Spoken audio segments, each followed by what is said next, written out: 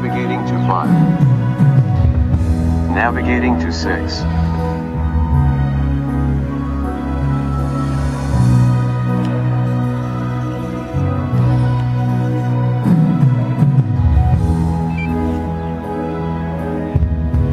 Navigating to 7. Navigating to 8.